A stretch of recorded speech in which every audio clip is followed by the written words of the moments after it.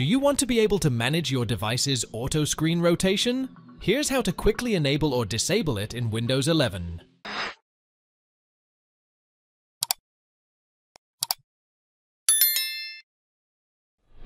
Press Windows plus A keys together to open the Quick Settings. Click on Rotation Lock option in the Quick Settings to enable, disable it. Click the Edit button at the bottom of the Quick Settings as shown below.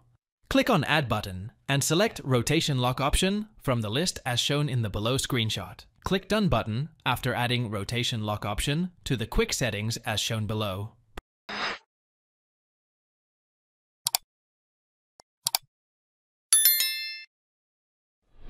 Press Windows plus R keys together to open Run dialog box. Type regedit in the Run box and press the Enter key to open Registry Editor. Copy and paste the following path given below in the empty address bar and hit Enter key.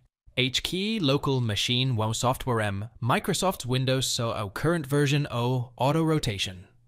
Select the auto rotation registry key and double click on enable dword value key to open it. Enter the one in the value data text box field to enable the automatic screen rotation as shown below. Click OK button to make changes and close the window. If you want to disable the automatic screen rotation feature, then enter 0 in the value data text box and click OK. Close the registry editor and restart your system once.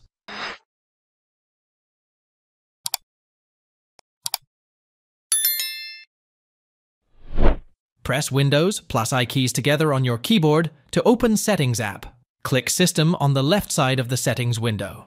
Then, select Display option on the right side, as shown in the below image. Click on Rotation Lock toggle button to on to enable. Off to disable the automatic screen rotation feature on your system as shown below.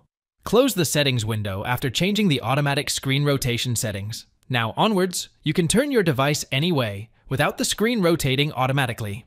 Hope this solution solved your issue. Thanks for watching. If it helps, make sure to hit like and subscribe.